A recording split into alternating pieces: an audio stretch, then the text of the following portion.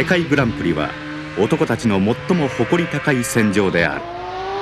ライダーの誰もが表彰台をそしてゼッケンナンバーワンを夢見てレースに臨む。しかし用意されたチャンピオンの椅子はただ一つ。勝者と敗者栄光と失意。世界で最も過激な戦場へと集まった男たちの心はワークスマシンのエキゾーストと共振しサーキットに響き渡る。今男たちの目に映るのは勝利を記す栄光の表彰台だけである。そして男たちはプライドワンを目指す。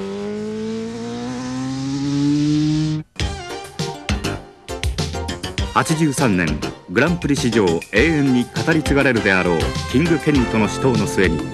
21歳の若さで 500cc クラスのタイトルを手にしたフレディ・スペンサー。彼は84年こそバッドラックに語られ相次ぐクラッシュによってランキングを4位に落としてしまったが